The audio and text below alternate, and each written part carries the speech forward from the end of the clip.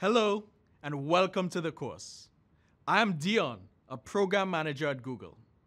I've worked in security for the past five years in areas ranging from risk management to insider threat detection.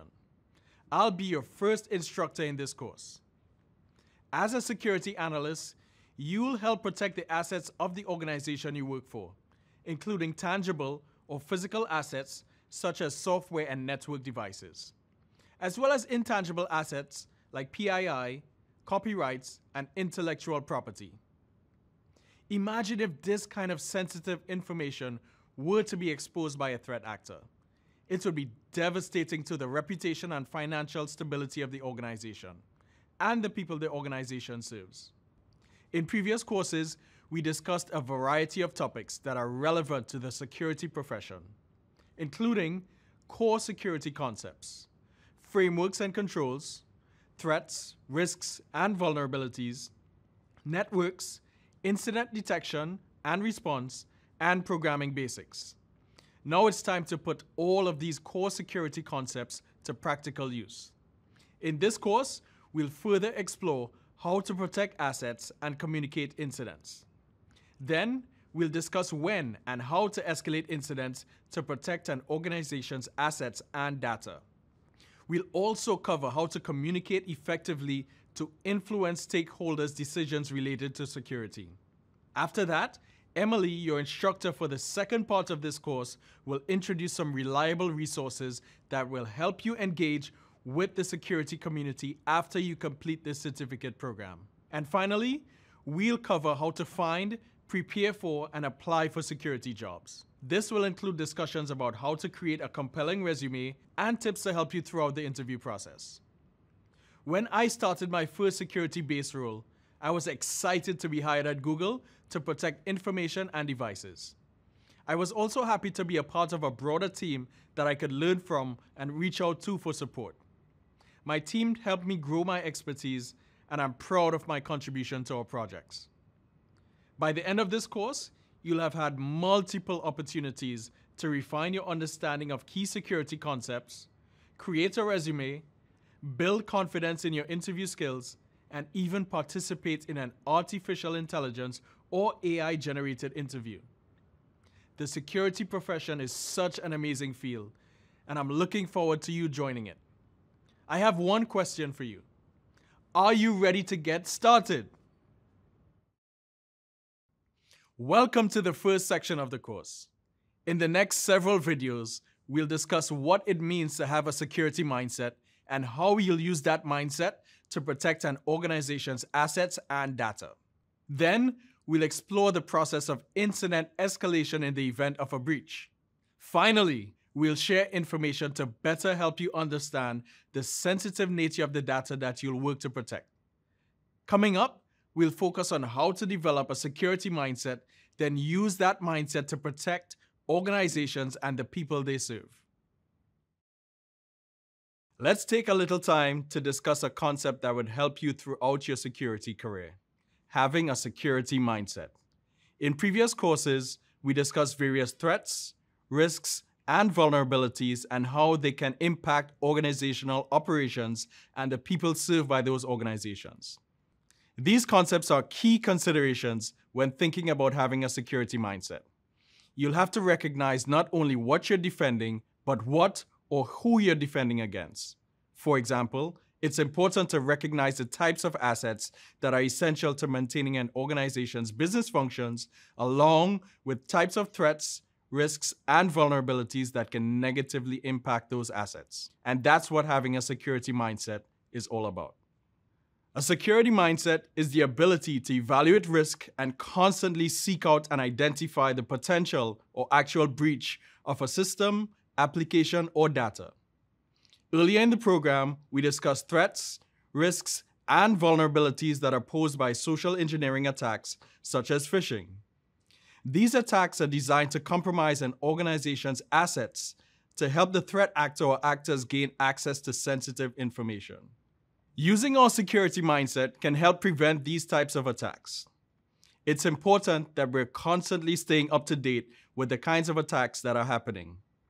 To do this, it's good to develop a habit of seeking out information regarding the latest security trends or vulnerabilities. As you do this, new ideas for protecting company data may come to mind. Security is an everyday objective for every security team in the industry. So having a security mindset helps analysts defend against the constant pressure from attackers. That mindset can make you think every click of the mouse has the potential to lead to a security breach. That level of scrutiny as a security professional helps you prepare for the worst case scenario, even if it doesn't happen.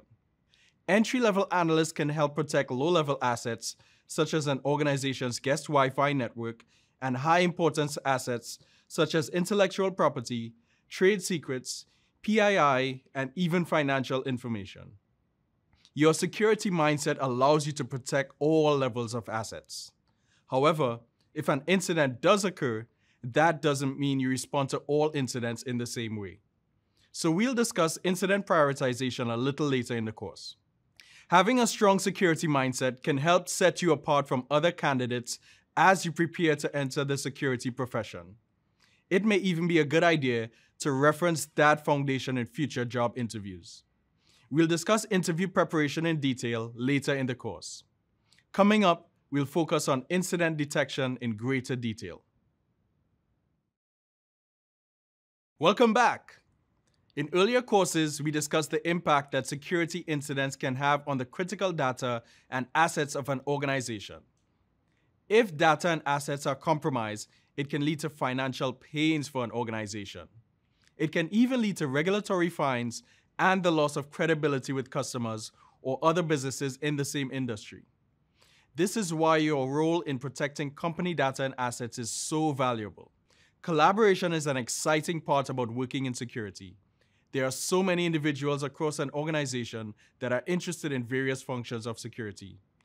No security professional can do this alone. Some team members are focused on protecting sensitive financial data. Others work on protecting usernames and passwords. Some are more focused on protecting third-party vendor security. And others may be concerned with protecting employees' PII. These stakeholders and others have an interest in the role the security team plays for keeping the organization and the people it serves safe from malicious attacks. It's important to recognize that the assets and data you protect affect multiple levels of your organization. One of the most important concerns for an organization is the protection of customer data.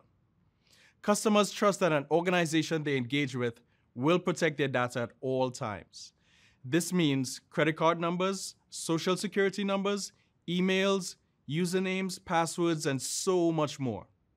It's important to keep this in mind when taking on a security role. Understanding the importance of the data you're protecting is a big part of having a strong security mindset.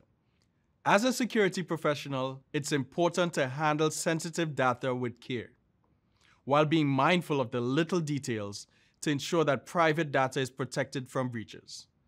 When a security event results in a data breach, it is categorized as a security incident. However, if the event is resolved without resulting in a breach, it's not considered an incident. It's better to be safe when it comes to taking a job in the security profession. That means paying attention to details and raising your issues to your supervisor. For example, a seemingly small issue like an employee installing an app on their work device without getting permission from the help desk, should be escalated to a supervisor. This is because some apps have vulnerabilities that can pose a threat to the security of the organization. An example of a bigger issue is noticing that a log may have malicious code executed in it. Malicious code can lead to operational downtime, severe financial consequences, or the loss of critical high-level assets. The point is that there are no issues that are too small or too big. If you're not sure of the potential impact of an incident, it's always best to be cautious and report events to the appropriate team members. Each day on the job as a security professional comes with a level of responsibility to help protect the organization and the people it serves. The decisions you make not only affect the company, but also its customers and countless team members across the organization. Remember, what you do matters. You've had an opportunity to learn more about the important role an entry-level analyst plays in protecting the data and assets of an organization. Let's quickly review what we covered. We started off by discussing the importance of having a security mindset, including how it supports incident detection. Then we examined the relationship between incidents and events, and further explored the incident escalation process. We ended our discussion by exploring the sensitive nature of the data that you're protecting and the amount of people counting on you to play your part in protecting that data. Understanding how valuable you are as a member of the security team can help you put the work you do into perspective. Every role in security matters. Each individual contributes to making a company's operations flow smoothly. I hope you enjoyed our discussion as much as I did. Are you ready to continue your journey into the security world? Coming up, we'll discuss the importance of escalating security incidents. I'm excited that you could join me today. Previously, you learned about the importance of various asset types. You also learned about the relationship between incidents and events. Now, we'll focus on escalating those incidents and events to the right people. Protecting the data and assets of an organization is the primary goal of a security team. The decisions you make every day are important for helping the security team achieve that goal. Recognizing when and how to escalate security incidents is crucial. It helps ensure simple issues don't become larger problems for an organization. Escalation is a term you should familiarize yourself with. It's likely to resurface often as you continue your journey into the security profession. In the following videos, we'll discuss incident escalation from an entry-level analyst perspective. Then, we'll explore various incident classification types and the impact security incidents can have on business operations. Finally, we'll share some general guidelines for escalating incidents. Coming up, we'll start by focusing on incident escalation and how it can be used to prevent a seemingly small issue from becoming a bigger problem. Let's get started. Security analysts are hired to protect company assets and data, including knowing when and how to escalate security incidents. In this video, we'll define security incident escalation and discuss your role in making decisions that help protect your organization's data and assets. So what is incident escalation? And why is it so important for security professionals? Incident escalation is a process of identifying a potential security incident, triaging it, and, if appropriate, handing it off to a more experienced team member. It's important to also recognize that not every incident needs to be escalated. In this video, we'll cover what types of incidents should be escalated. As an entry-level analyst, it's unlikely that you'll be responding to security incidents independently. However, it's important that you know how to evaluate and escalate incidents to the right individual or team when necessary. Let's discuss the essential skills needed to properly escalate security incidents. There are two essential skills that would help you identify security incidents that need to be escalated. Attention to detail and an ability to follow an organization's escalation guidelines or processes. Attention to detail will help you quickly identify when something doesn't seem right within the organization's network or systems. Following a company's escalation guidelines or processes will help you know how to properly escalate the issue you've identified. Larger organization security teams have many levels, and each level or member of that team plays a major role in protecting the company's assets and data. However, smaller and medium-sized companies have only one or two people responsible for the organization's security. For now, we'll focus on the roles in bigger organizations. From the Chief Information Security Officer, also known as the CISO, to the engineering team, public relations team, and even the legal team. Every member of the security team matters. Each team member's role depends on the nature and scope of the incident.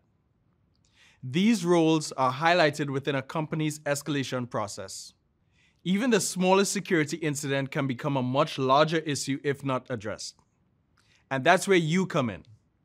Imagine you're working at your desk and notice what appears to be a minor incident, but you decide to take a break before addressing or escalating it.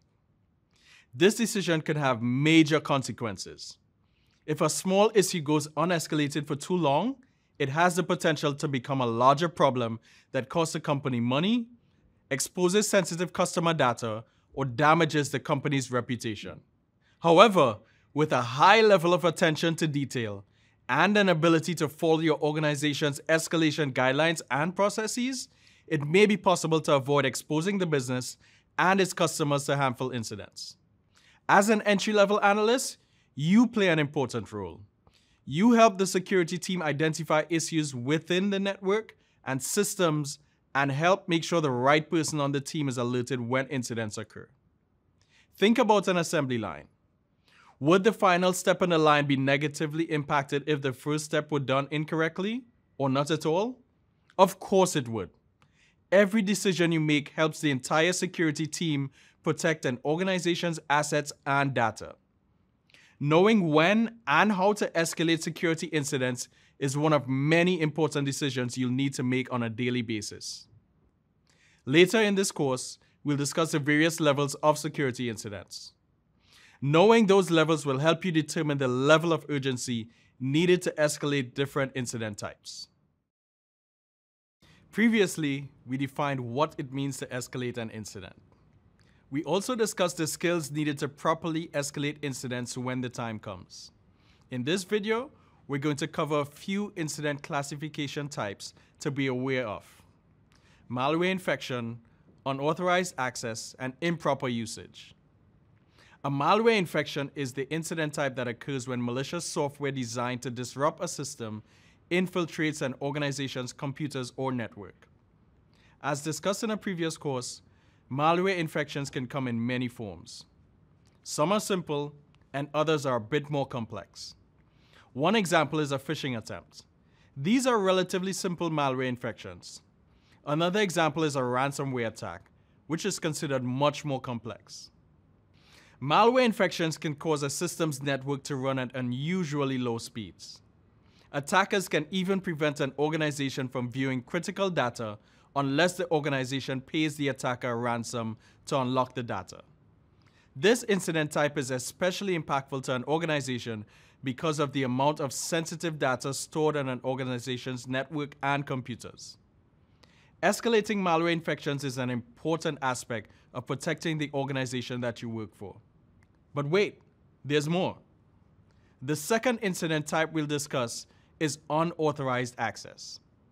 This is an incident type that occurs when an individual gains digital or physical access to a system or application without permission. As you may recall, earlier in the program we discussed brute force attacks, which use trial and error to compromise passwords, login credentials, and encryption keys. These attacks are often used to help attackers gain unauthorized access to organization systems or applications all unauthorized access incidents are important to escalate. However, the urgency of that escalation depends on how critical that system is to the organization's business operations. We'll explore this idea in more detail later in this course. The third incident we'll discuss is improper usage. This is an incident type that occurs when an employee of an organization violates the organization's acceptable use policies. This one can be a bit complicated. There are instances when improper usage is unintentional. For example, an employee may attempt to access software licenses for personal use or even use a company system to access a friend's or co-worker's data. Maybe the employee wasn't aware of the policy they were violating. Or maybe the policy wasn't properly defined and communicated to employees but there are other times where improper usage is an intentional act. So how do you know if an improper usage incident is accidental or intentional? That can be a difficult decision to make. That's why improper usage incidents should always be escalated to a supervisor. As a member of an organization security team, it's likely that you'll encounter a variety of incident types while on the job. So it's important to know what they are and how to escalate them. So far, we've discussed different incident types and the importance of escalating those incidents to the right person. But what happens if an incident goes unescalated for too long? In this video, we'll discuss the potential impact that even the smallest incident can have on an organization if it goes unnoticed. Are you ready? Great! Now let's take a journey into the life of an organization security team. It's been a quiet day for the security team. Suddenly, you notice there's been unusual log activity in an app that was recently banned from the organization. You make a note to mention this activity during the next meeting with your supervisor. But you forget and never mention it. Following this same scenario, let's fast forward to a week later. You and your supervisor are meeting again. But now, the supervisor indicates that a data breach has occurred. This breach has impacted one of the manufacturing sites for the organization. Now, all operations at the manufacturing site have been put on hold. This causes the company to lose money and precious time. Days later, the security team discovers that the data breach began with suspicious activity in the app that was recently banned from the organization. What we've learned from this scenario is that a simple incident can lead to a much larger issue if not escalated properly. Incident criticality is also important to note here. Initially, an incident can be escalated with a medium level of criticality if the analyst doesn't have enough information to determine the amount of damage done to the organization. Once an experienced incident handler reviews the incident, the incident may be increased or decreased to a high or low criticality level. Every security incident you encounter is important to an organization, but some incidents are certainly more urgent than others. So, what's the best way to determine the urgency of a security incident? It really depends on the asset or assets that the incident affects.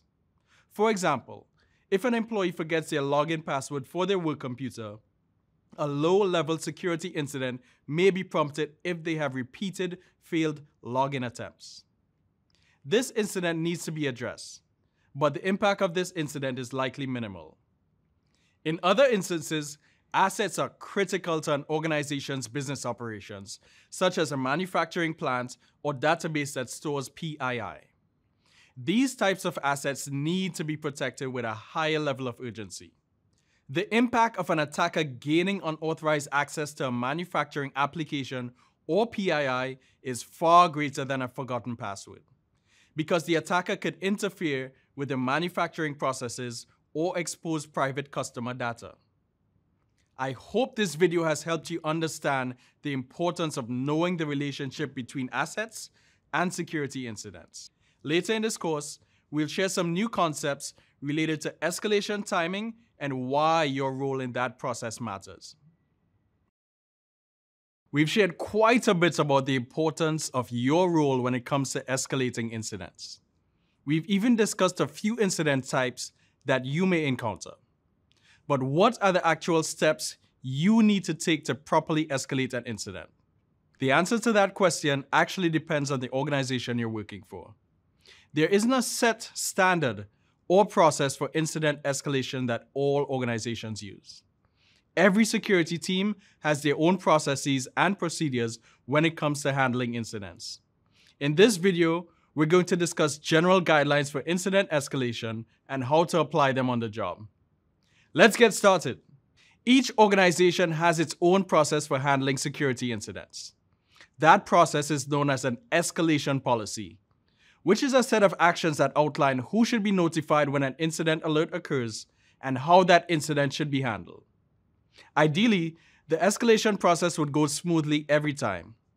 But in the workplace, challenges to that process can happen unexpectedly.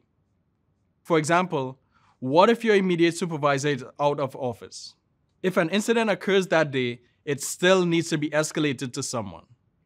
This is one example of why understanding your organization's escalation policy is important. You don't need to memorize your organization's escalation policy, but it is wise to save or bookmark it on your work device. This way, you'll always have access to it when you need it. Following an organization's escalation policy is essential because the actions you take help protect the organization and the people it serves from malicious actors. The escalation policy for an organization can be an extensive document. So it's up to you to pay attention to the small details within the escalation policy of your organization. Attention to detail can make the difference between escalating an incident to the right or wrong person. It can also help you prioritize which incidents need to be escalated with more or less urgency. Every organization handles incident escalation differently, but analysts need to ensure that incidents are handled correctly. Great work expanding your security mindset.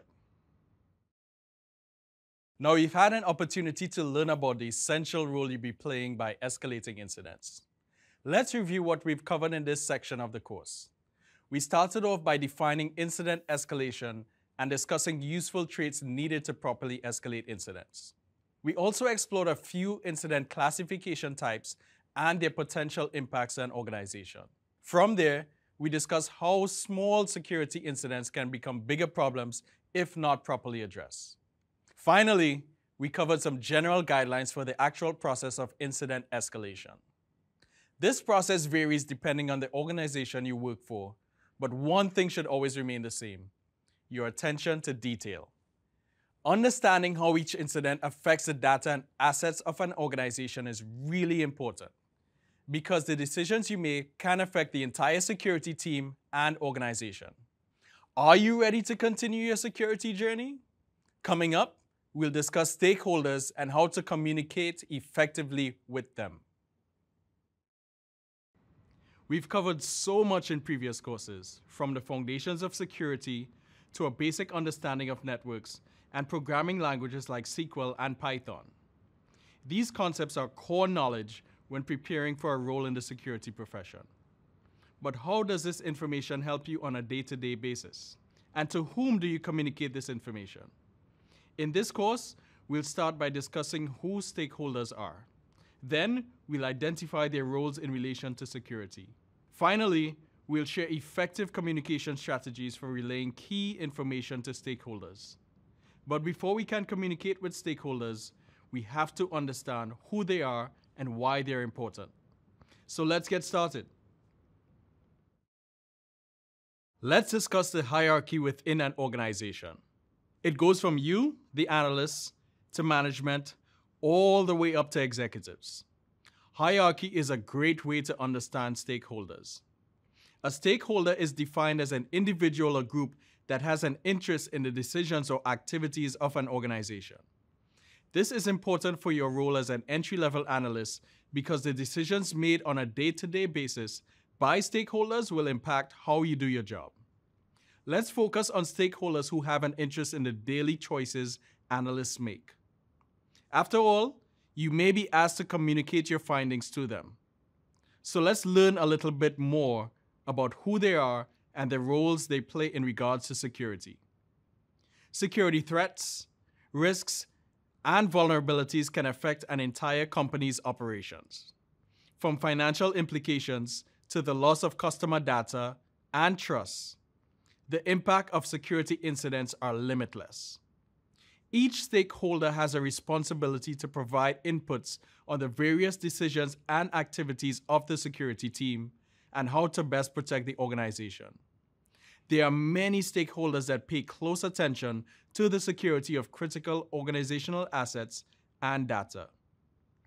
We're going to focus on five of those stakeholders. Risk managers, the Chief Executive Officer, also known as the CEO, the Chief Financial Officer, also known as the CFO, the Chief Information Security Officer, or CISO, and Operation Managers.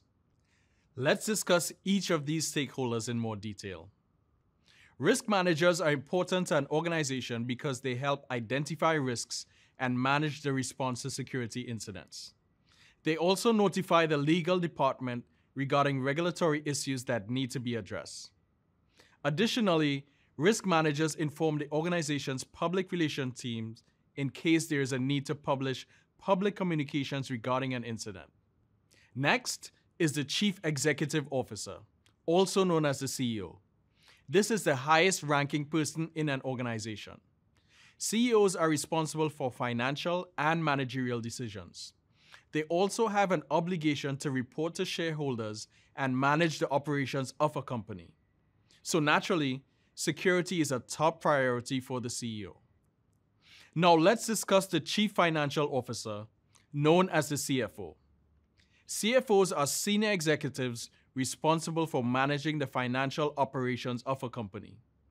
They are concerned about security from a financial standpoint because of the potential cost of an incident to the business.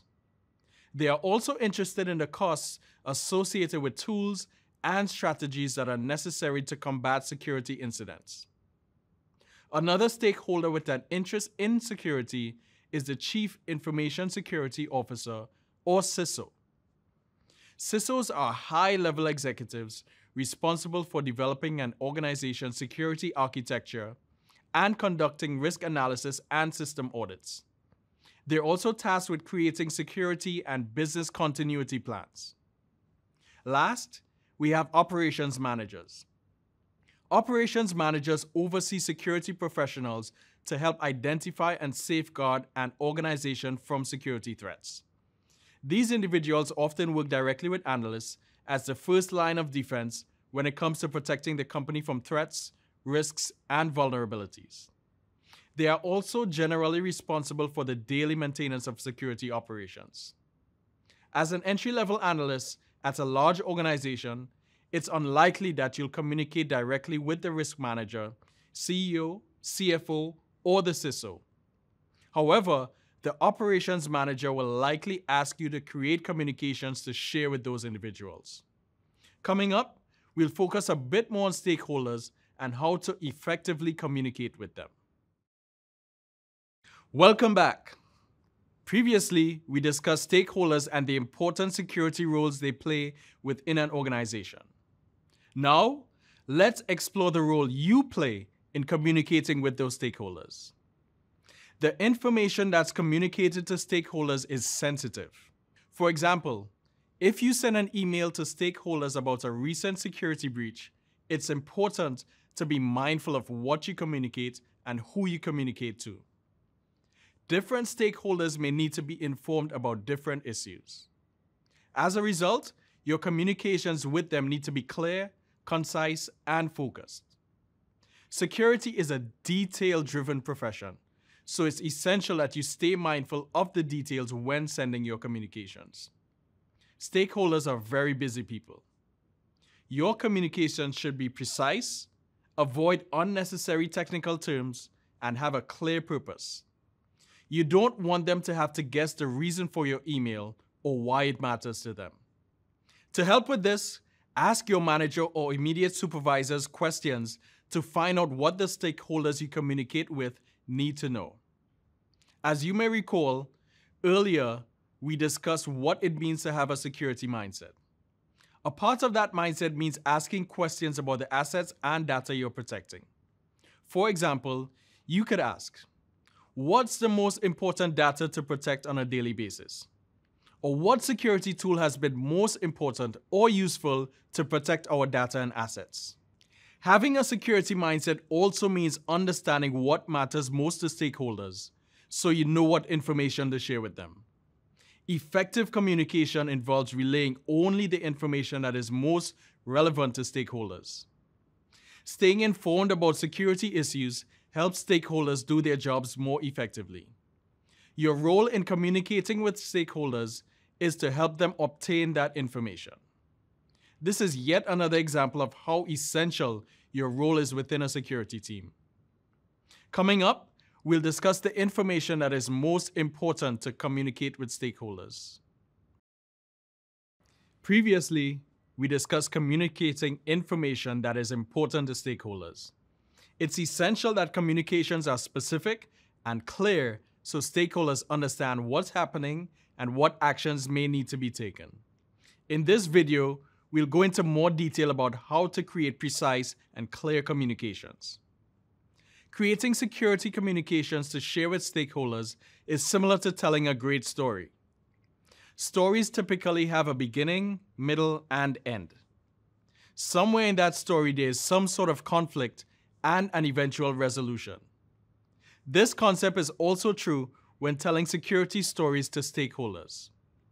The security story details what the security challenge is, how it impacts the organization, and possible solutions to the issue. The security story also includes data related to the challenge, its impact, and proposed solutions. This data could be in the form of reports that summarize key findings or a list of issues that may need immediate attention. Let's use the following scenario as an example. You've been monitoring system logs and notice possible malicious code execution in the logs that could lead to the exposure of sensitive user information. Now you need to communicate what is happening to a stakeholder, in this case, your immediate supervisor. The first step is to detail the issue, potential malicious code execution found while monitoring the logs. The next step is to refer to the organization's incident response playbook and mention the suggested guidance from the playbook regarding malicious code found in system logs. This shows your supervisor that you've been paying attention to the procedures already established by the team. The final piece of your story is to provide a possible solution to the issue. In this scenario, you may not be the final decision maker regarding what action is taken, but you've explained to the stakeholder what has happened and a possible solution to the problem. You can communicate the story we just discussed in various ways. Send an email, share a document, or even communicate through the use of a visual representation. You can also use incident management or ticketing systems. Many organizations have incident management or ticketing systems that follow the steps outlined in their security playbooks. Some scenarios are better expressed by using visual elements. Visuals are used to convey key details in the form of graphs, charts, videos, or other visual effects. This allows stakeholders to view a pictorial representation of what is being explained. Visual dashboards can help you tell a full security story to stakeholders. Later in this course, you'll have an opportunity to learn how to use Google Sheets to create a visual security story. That's going to be fun. A security professional who knows how to tell a compelling and concise security story can help stakeholders make decisions about the best ways to respond to an incident. Ideally, you want to be someone that makes stakeholders' jobs easier. And communicating effectively will certainly help you do that. Coming up, we'll continue our discussion about communicating with stakeholders. The ability to communicate threats, risks, vulnerabilities, or incidents and possible solutions is a valuable skill for security professionals. In this video, we'll focus on various communication strategies that can help you engage with and convey key ideas to stakeholders. Let's start with visuals. The use of visuals to tell a security story can help you communicate impactful data and metrics. Charts and graphs are particularly helpful for this. They can be used to compare data points or show small parts of a larger issue. Using relevant and detailed graphics can help you develop the story you want to tell stakeholders so they can make decisions that would help protect the organization. While visuals are a compelling way to capture the attention of your stakeholders, some issues are best explained in an email or even a phone call. Be mindful of the sensitive information contained in these types of communications. For security purposes, it's important to communicate sensitive information with care. Be sure to follow the procedures outlined in your organization's playbooks and always make sure to send emails to the right email recipient, as it could create a risk if the wrong person receives confidential security information. One challenging thing about emails is the potentially long wait time for a response. Stakeholders have many responsibilities. This means they may sometimes miss an email or fail to respond in a timely manner. In these instances, a simple phone call or instant message may be a better option. My experience in security has taught me that sometimes a simple instant message or a call can help move a situation forward. Direct communication is often better than waiting days or weeks for an email response to an issue that requires immediate attention. When appropriate, take the initiative to follow up with a stakeholder if they haven't responded to an email in a timely manner. It sounds simple, but a friendly call can often prevent a major issue from occurring. It's important to stand out in the security profession, especially if you don't have previous experience in the industry. Visual representations, emails, and phone calls are great ways to showcase your written and verbal communication skills. The visual aspect shows your ability to put metrics and data together in an impactful way. If you don't receive a timely response from a stakeholder, following up shows initiative. In this video, we're going to have a bit of fun. We'll create a visual security story. Here's the scenario. The operations manager, one of the stakeholders we previously discussed, has been informed that the Chief Information Security Officer, also known as the CISO, wants to know how many employees are often clicking on phishing emails. The goal is to identify which five departments click on those emails most often. An investigation reveals that the five departments that most frequently click on phishing emails are human resources, customer service, global security, media relations, and professional development. Based on this information, the security team can create a visual representation of the data to share with the operations manager and the CISO. Those stakeholders and the security team can then work together to determine how to address the issue. There are many different platforms available that can be used to create and share visual stories of data. Apache OpenOffice is a free, open source Office suite that allows users to create spreadsheets and other visual representations. Another no-cost option is Google Sheets. Today, we'll enter our data into Google Sheets. Then, we'll create a bar chart visualization to develop the data story. If you don't have a Google account, you'll need to create one. Let's start by demonstrating how to create an account. First, Go to google.com and click on Sign In. Click Create Account and select for my personal use. Then, complete each step to create your personal account. Now that you've created your Google account, it's time for us to begin creating our Google Sheets bar chart visualization. Click the dots menu in the top right corner click the Sheets icon. Click blank to start a new spreadsheet. Select cell A1, type Department. Select cell B1, type number of clicked phishing emails. Select cell A2, type Human Resources. Select cell B2, type 30. Select cell A3, type Customer Service. Select cell B3, type 18. Select cell A4, type Global Security. Select cell B4, type 10. Select cell A5, type Media Relations. Select cell B5, type 40. Select cell A6, type Professional Development.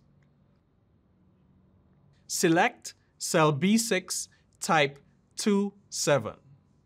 Then, select the rows and columns containing headers, department names, and data. Click Insert at the top of the sheet. Select Chart in the Chart Editor menu. Click Chart Type drop-down menu.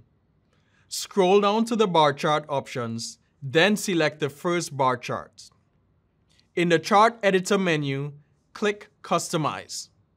Then click on the Chart and Axis Title section. Now, update the title to read something like Clicked Phishing Emails by Departments or another title related to the data. Then click on the X icon at the top of the chart editor to close the editor menu. Great job creating your first visual security story. Creating visual stories of data allows security team members to convey essential information to stakeholders, so issues can be communicated in a meaningful and understandable way. These data stories can also help promote a better understanding of issues that exist within an organization and allow decision makers to determine how to address security issues that put the organization at risk. You've had an opportunity to learn about the important role stakeholders play and different ways to communicate with them. Let's review what we covered. We started by defining stakeholders and their roles in protecting an organization. We also explored the sensitive nature of communications with stakeholders and the importance of sharing that information with care and confidentiality. Then, we discussed information that needs to be communicated to stakeholders. After all, stakeholders are extremely busy, so we only want to share relevant information that they need to be aware of. We ended our discussion by introducing various communication strategies, including emails, phone calls, and visual dashboards. Understanding who the stakeholders are within your organization and how to communicate with them will help you throughout your career as a security professional. Be intentional about the strategies you use to communicate. Remove unnecessary details from your communications and be specific and precise when relaying information to stakeholders.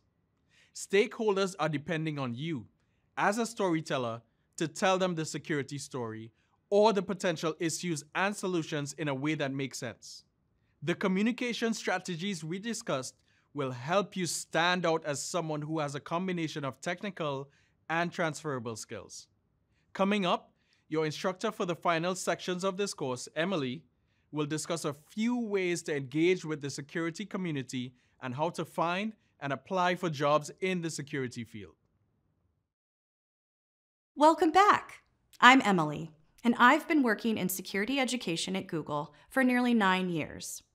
My team works closely with our remarkable security experts to craft innovative and engaging educational solutions for our workforce to keep security at the forefront. I'll be your instructor for the remainder of the course to discuss important career related topics, such as how to engage with the security community, find jobs in the security field, create a resume, and navigate the interview process. We're approaching the end of the certificate program. What an incredible journey it's been so far. We've discussed a lot up to this point, including incident detection and escalation, and the roles that stakeholders play in protecting an organization. We've also explored the sensitive nature of the communications we share and strategies for conveying critical information to stakeholders. But does the learning stop now that we're approaching the end of the program? Absolutely not. In the following videos, we'll identify reliable security resources you can use to stay up to date on security news and trends. Then, we'll share some ways to become involved with the security community. We'll end with a discussion about how to establish and advance a career in security. Coming up, we'll highlight some great resources to help you stay current on what's happening in the security industry. As we approach the end of our program, it's important to start thinking about ways to engage with the security community. As the industry evolves, it's essential to stay up to date on the latest security trends and news. Let's discuss a few good resources for you to review periodically. What excites me about the security profession is the constant evolution of the industry. Take the OWASP Top 10, for example. Earlier in the program, we discussed the fact that this is a globally recognized standard awareness document that lists the top 10 most critical security risks to web applications. This list is updated every three to four years, so it's a great example of the evolving nature of the field. Continuing your security education beyond this certificate program will help you stand out to hiring managers and could give you an extra edge over other candidates because it shows your willingness to remain current on what's happening in the industry. A few well known security websites and blogs to get you started are CSO Online, Krebs on Security, and Dark Reading. The CSO Online site provides news, analysis, and research on various security and risk management topics. Many CISOs view this site for tips and ideas. It would be great for you to review this publication every now and then. Krebs on Security is an in depth security blog created by former Washington Post reporter Brian Krebs. This blog covers security news and investigations into various cyber attacks. Accessing the Krebs blog is a good way to stay up to date on the latest security news and happenings around the world. Dark Reading is a popular website for security professionals. This site provides information about various security topics, like analytics and application security, mobile and cloud security, as well as the Internet of Things, IoT. Security is a constantly evolving industry. As professionals in security, we must evolve with it by seeking out new information. Be sure to explore a few of the websites and blogs we discussed in this video to stay up to date with what's happening in the industry. Coming up, we'll discuss how to become engaged with the security community and ways to establish and advance your career in security. Bye for now. Earlier, we discussed the importance of staying up to date on security trends and news. In this video, we're going to share ways to establish and advance your career in security by connecting with people who are already in the industry. Social media is a great way to connect to other security professionals in the industry. However, it's important to be mindful of the information you share on your social media page and when responding to messages from people you don't know. With that in mind, let's discuss ways to effectively use social media to establish or advance your security career. One way to use social media is to follow or read the posts of leaders in the security industry. Chief Information Security Officers, for example, are great individuals to follow. They often post interviews they've done in the security space and share articles they've read or contributed to. Here's a question you might be asking yourself How can I find CISOs to follow on social media? The best way would be to conduct an internet search for the name of the CISO of a popular organization or an organization you're interested in working for. After you find their name, you can simply go to a social media site to look them up. Ideally, you want to use LinkedIn when following security professionals. That's because the LinkedIn platform focuses on connecting professionals with other professionals in the same or similar field. Another way to use social media to establish or advance your career in the security industry is to connect with other security analysts currently employed in the field. On social networks like LinkedIn, you can find security professionals by searching for cybersecurity analysts or a similar search term, then filtering for people and people who talk about hashtag cybersecurity. Once you've found other professionals you'd like to connect with, you can send a connection request with a brief comment such as Hi, I'd like to connect to learn more about why you became interested in security and your experiences as an analyst. Additionally, you can set your filter to locate events and groups that focus on security related topics that interest you. While social media platforms like LinkedIn are excellent for connecting with professionals, some people are more comfortable with being active on social media than others. For those of us who aren't very active on social media, there are other ways to connect with security professionals or find mentors in the industry. Joining different security associations is a good way to connect with others. There are many associations out there, so you're going to have to do a little bit of research to find the best ones for you. Here's a tip in your internet search engine, type Cybersecurity Industry Associations. This search term will populate a variety of different associations, so be sure to select ones that align with your professional goals. Now that we've discussed ways to engage with the security community, consider following a CISO on LinkedIn, connecting with other analysts, or searching for cybersecurity organizations to join. That's all for now. I'll meet you in the next video. Great job! Now you've had an opportunity to learn about different ways to stay engaged with the security community. Let's take a moment to review what we've covered. First, we identified reliable security resources. Then, we discussed different ways to engage with the security community. We also explored the usefulness of social media to connect with other security professionals and stay informed about current topics of interest. Finally, we shared ways to establish and advance a career in security, including following a CISO on social media or joining a professional organization. We've come a long way in this journey. You should be proud of your progress and how far you've come. I'm certainly proud of you. In the final section of this course, we'll take the time to prepare you for the job search and interviewing process. How exciting is that? Welcome back. We've covered so many security related topics in detail. Throughout this program, we've discussed protecting organizational assets and data and the tools and procedures used to protect them. We've also explored how to communicate with stakeholders, reliable sources to help you stay up to date on security news and trends, and ways to get involved with the security community to help establish and advance your career in the field. Now, we need to get you prepared to find a job as an entry level security analyst. Security is a huge field with countless job opportunities. By 2030, the U.S. Bureau of Labor Statistics expects the number of security roles to grow by more than 30%. But how can you find the right opportunity for you?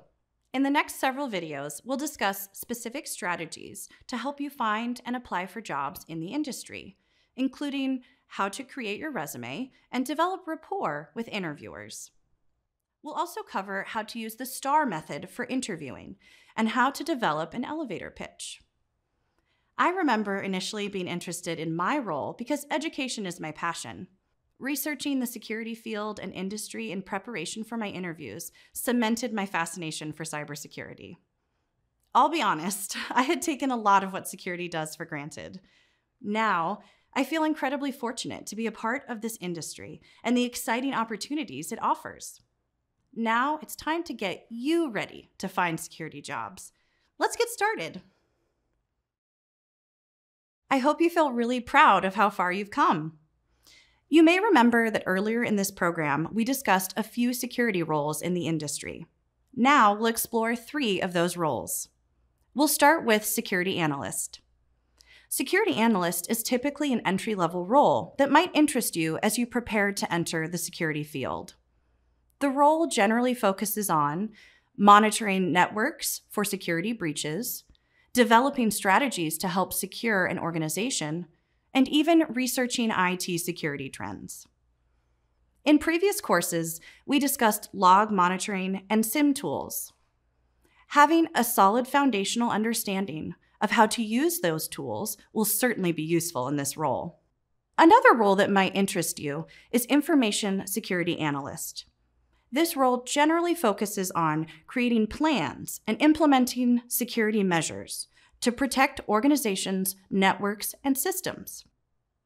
Earlier in the program, you learned about controls and frameworks that can be used to develop security plans and procedures as well as how to use SIEMs and packet sniffers to identify risks.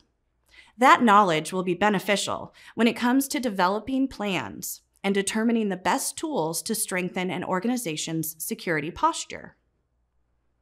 Finally, we'll explore the Security Operations Center analyst role.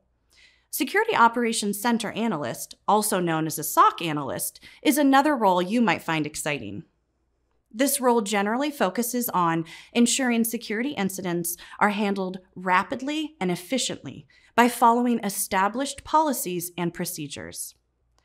Earlier in this program, we discussed security playbooks and how they are unique to each organization. We also covered the importance of being able to follow the processes outlined in playbooks to respond to security events or incidents. That knowledge will certainly help you stand out as a potential candidate for this role. There are many more job roles that you may be interested in. A great way to find more of these roles is to create an account on various job sites and search for cybersecurity positions. A few well known job sites in the United States and internationally are ZipRecruiter, Indeed, and Monster Jobs.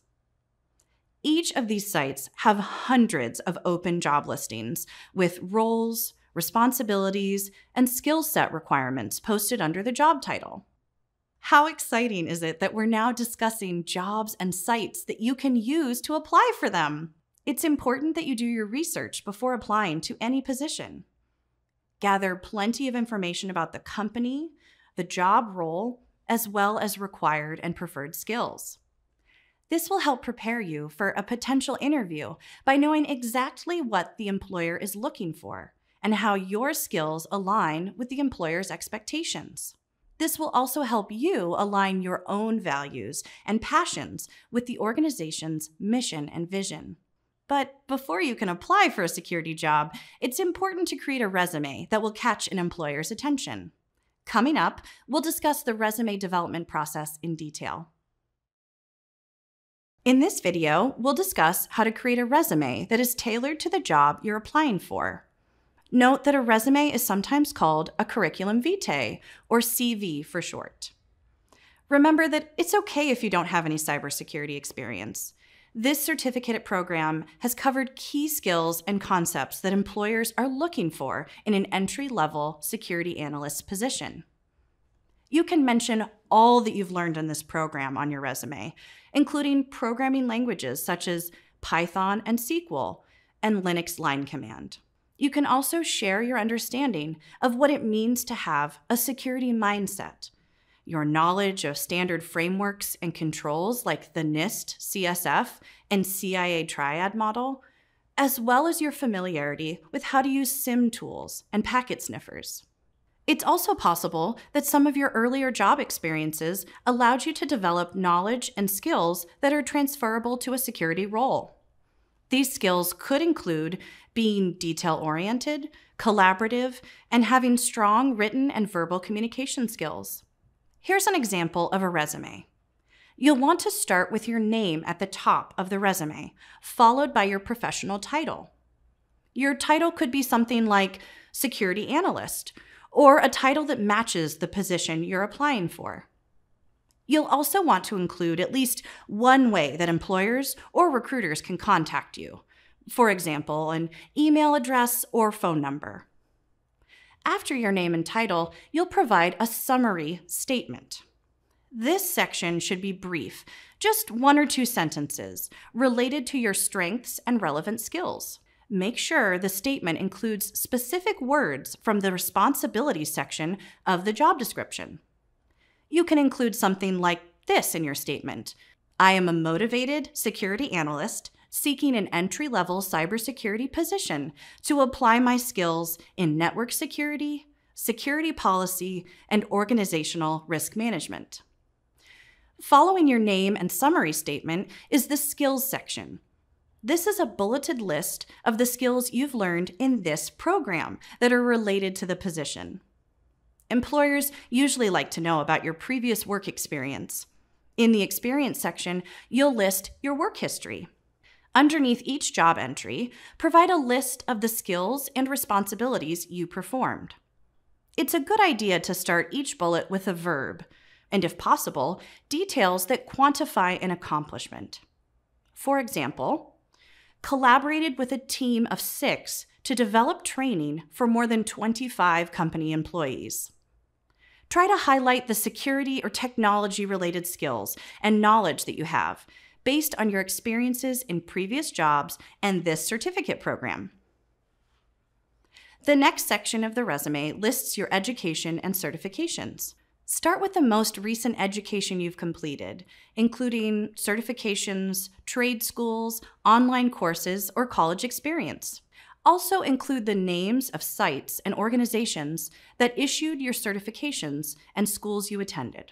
List any subjects you studied related to the job you're applying for. If you're currently enrolled in school or a certification program but haven't graduated, note in progress. As you develop your resume, keep a couple of things in mind. Make sure there are no spelling or grammatical errors in your resume before sending it to your potential employer. Also, note that resumes are typically about two pages long and list only your last 10 years or less of work experience. Resumes can be created using word processing applications like Google Docs or OpenOffice. However, you might find some simple but professional resume templates online to get you started. To find them, type free resume template or a similar search term into your internet browser. If you use a template, be sure to replace all of the pre filled text with your information and qualifications. There is so much to consider when creating your resume, but what we covered today will help you get started. Coming up, we'll explore the interview process. After you've submitted your resume to several job postings, you'll hopefully get an opportunity for an interview. The interview process usually starts with a short pre screening phone call. It typically involves having a 15 minute conversation with a hiring manager or recruiter who will ask you some questions to make sure that you are who your resume says you are and that you meet the minimum requirements for the job. Following the pre screening, you could be invited to an in person interview, either on site or online. This could be a panel interview with a few members of the team that you would be working with, or a one on one interview. Let's discuss some strategies that can help prepare you for an interview. Review the job description and your resume ahead of time. Practice speaking about the experiences and skills that the employer is looking for. Consider practicing this with a friend by participating in a mock interview. Your friend will act as the interviewer, and you will answer their questions as if you're meeting with the employer. It can also be helpful to dress professionally and feel comfortable in the clothes you choose to wear for the interview. Before the interview begins, take a few deep breaths and remind yourself of all the preparation you've done. If the interview is online via video conference, Prepare a location in your home that is quiet, tidy, and professional. Also, be sure to test your video and audio settings, and if necessary, download the video conference application specified by the interviewer. This will help ensure that you correct any technical issues before the interview. Interviews usually include two parts a background interview and a technical interview. The background interview will likely include questions about your education, work experience, skills, and abilities.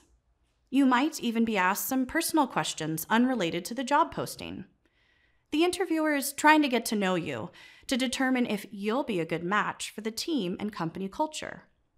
At the same time, you want to ask questions to help you decide if the team and company culture are a good match for you.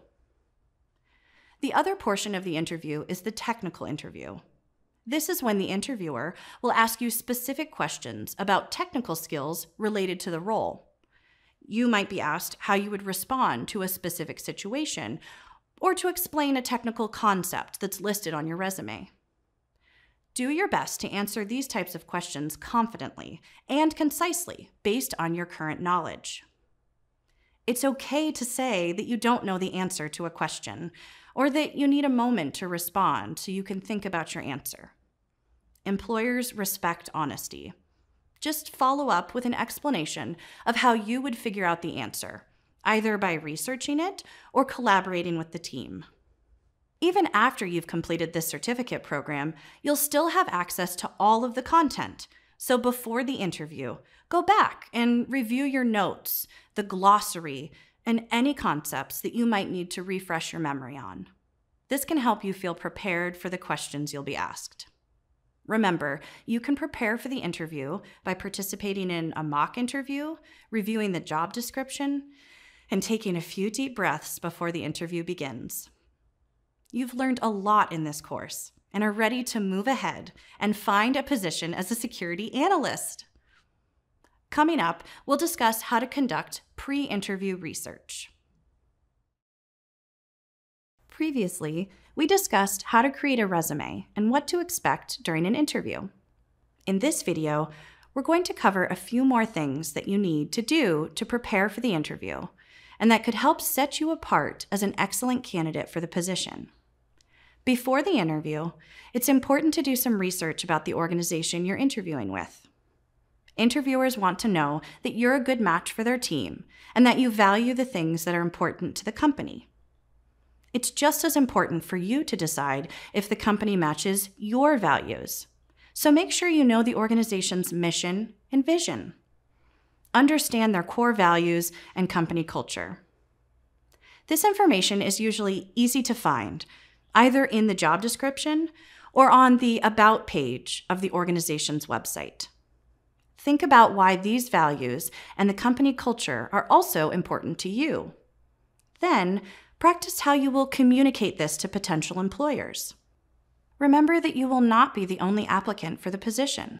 Consider what sets you apart from other candidates and be prepared to emphasize those qualities during the interview. What about your skills, experience, or work ethic make you the best match for this position? How do your goals align to the goals of the organization?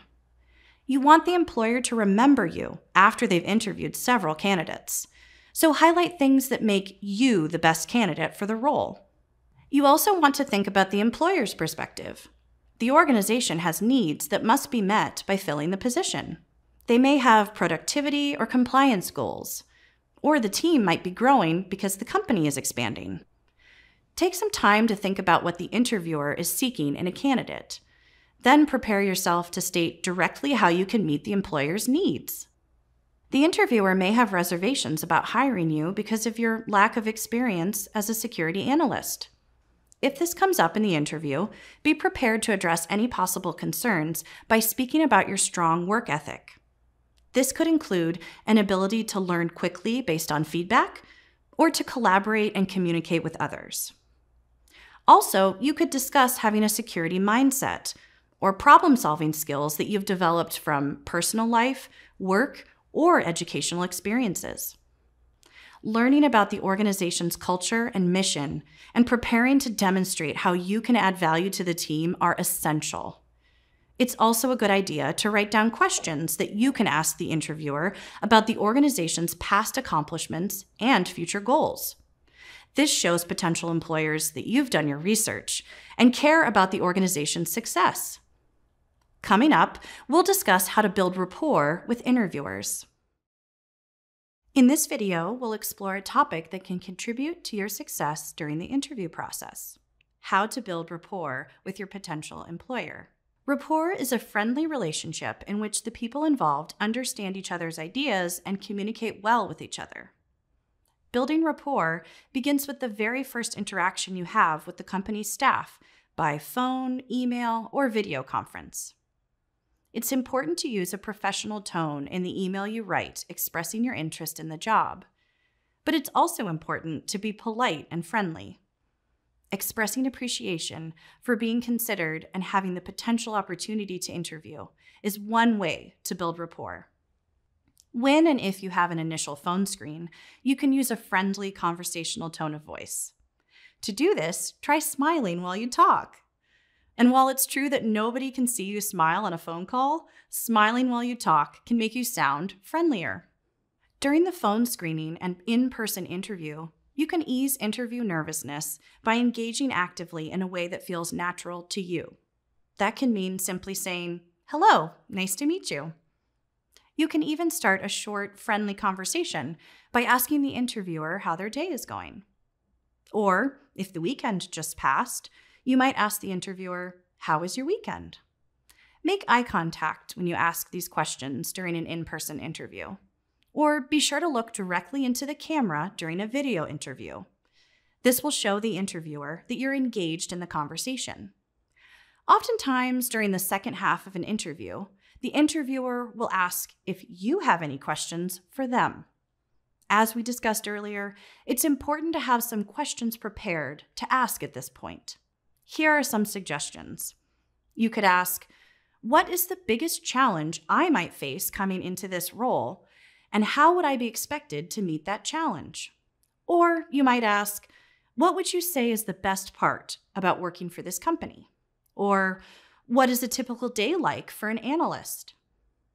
Another great question is, What is the potential for growth in this role? Asking questions shows that you're engaged in the conversation and are interested in the company and the position. It also shows the employer that you are confident and that you want to make sure that their company is a good match for you before you make a commitment. It's nice to send a follow up email a day or two after your in person interview. This is just a brief email thanking the interviewer for the opportunity to meet with them and learn more about the organization. It's also a good idea to mention something specific from your interview in this email. It shows that you were actively engaged in the conversation. Remember, the employer is probably interviewing other candidates, so sending a follow up email will help set you apart and remind the interviewer of your discussion. Building rapport with the interviewer and other employees is an important skill when interviewing for your first security position. Writing friendly but professional emails before and after the interview and engaging in friendly conversation during the interview can help set you apart as a great candidate for the job. Welcome back. Preparing for job interviews in the security field is such an exciting process. You've learned a lot through this program that can help you stand out as a candidate. Let's discuss some useful interview strategies to consider when speaking to an employer. Your interviewer is going to ask several questions when you meet. Carefully consider each question before responding. Let's discuss the STAR method, which can help you prepare for interviews. The STAR method is a technique used to answer behavioral and situational interview questions. Using this method is a great way to help you understand each interview question and provide a thoughtful and thorough response. STAR stands for situation, task, action, result. The STAR method is typically used to answer open ended questions, such as Tell me about a time when you encountered a challenge on the job. Let's go through an example of how this question could be answered using the STAR method. The situation Two people needed to stay home from work due to illness, and I was the only person available to assist customers.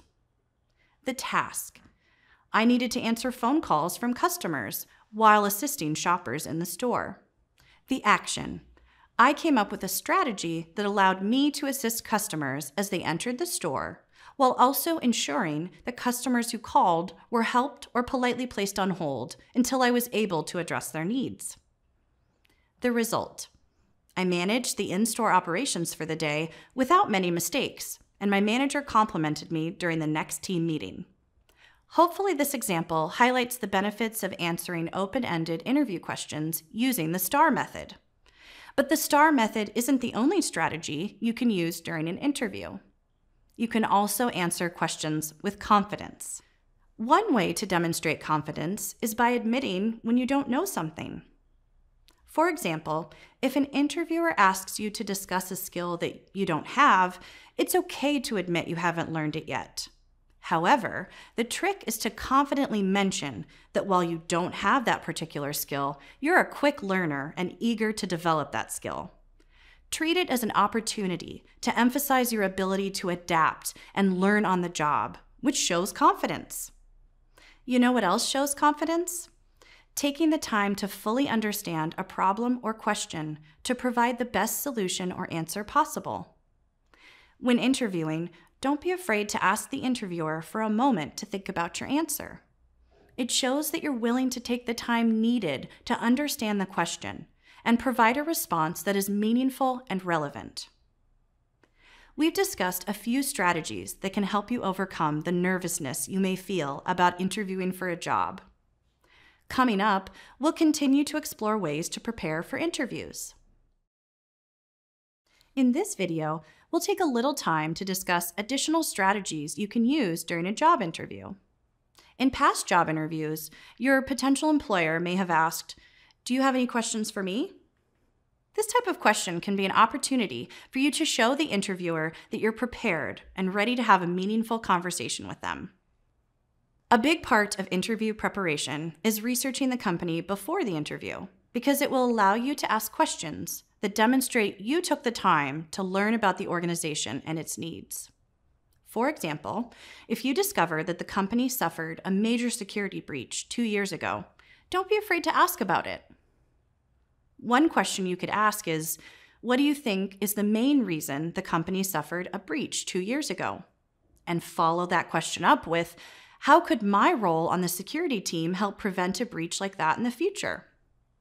These kinds of questions show that you are passionate about your career and that you want to help the company strengthen its security posture.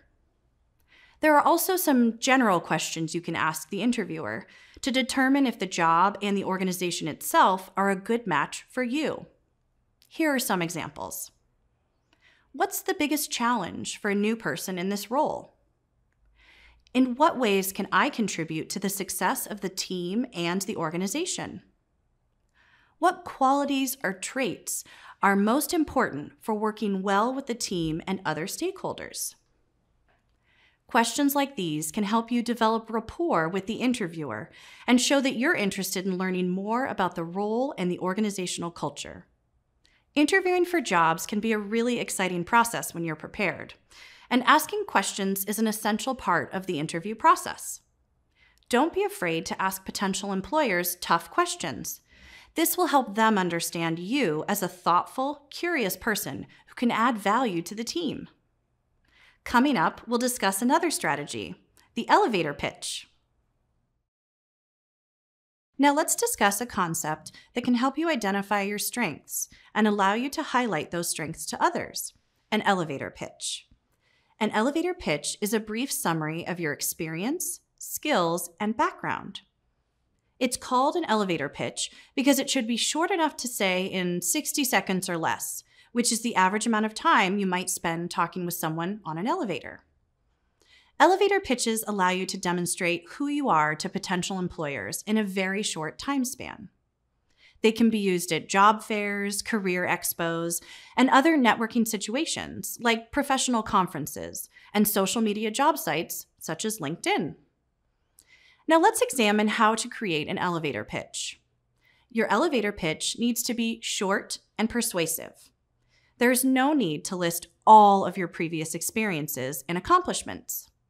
Instead, explain who you are and why you care about being a security professional, as well as the qualifications and skills you have that are specifically related to getting a job as a security analyst.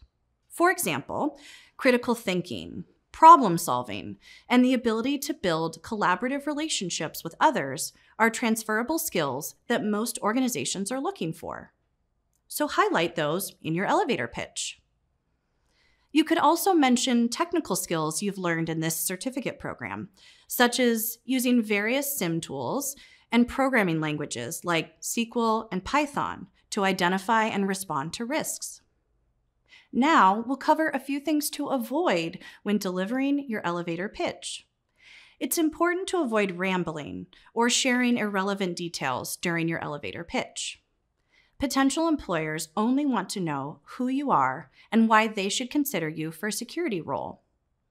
As you develop your elevator pitch, you're going to want to practice it several times. However, don't practice it so much that you end up sounding ingenuine or robotic when it's time to share your pitch with a possible decision maker. Instead, speak naturally, like you're having a conversation when you give your elevator pitch. That will help keep people engaged and interested in what you're saying. Another thing to avoid speaking too quickly.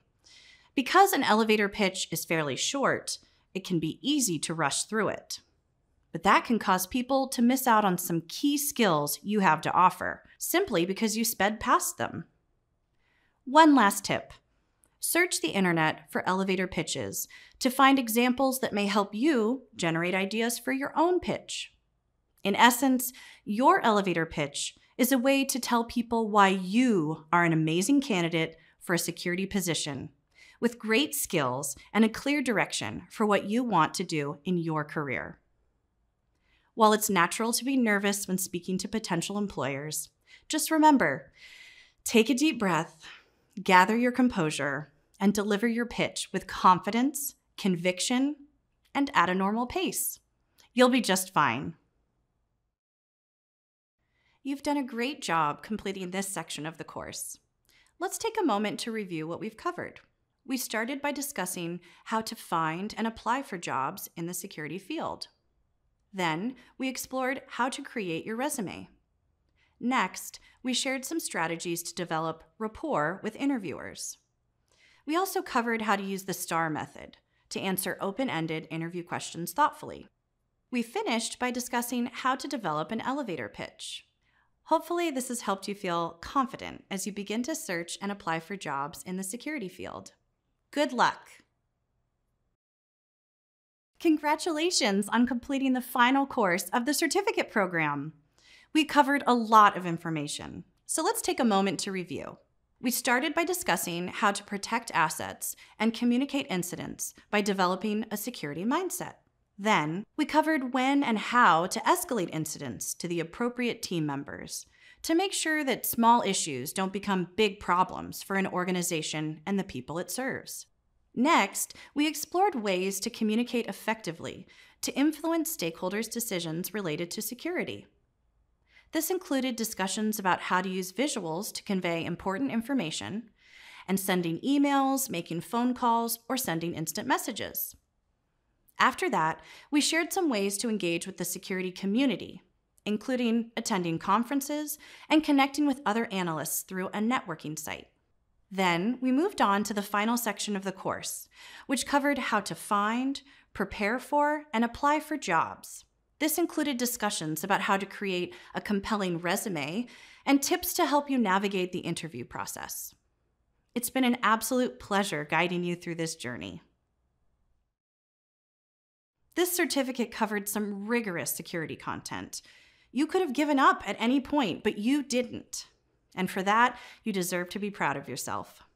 As we discussed at the beginning of this program, the security field is growing and in need of security professionals just like you to help protect organizations around the world and the people they serve. The knowledge and skills you've obtained throughout this certificate program will allow you to begin applying for entry level security analyst jobs. Now, let's take a moment to summarize what we've discussed throughout this program. We started by exploring core security concepts, including the definition of security and core skills. Then, we covered the focus of eight security domains and discussed how security supports critical organizational operations. Following that, we discussed network security, including network architecture and the mechanisms used to secure an organization's network. In the next course, we turned our focus to computing basics for security analysts. In this section, we introduced Linux and SQL. After that, we explored assets, threats, and vulnerabilities in depth.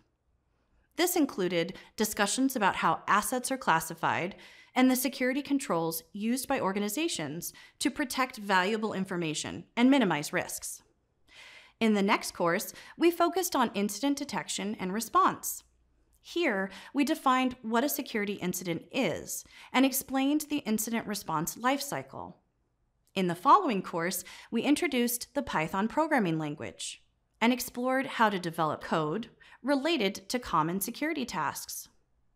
Finally, in the last course of the program, we explored topics related to your pathway into the security profession, including how to find and apply for jobs.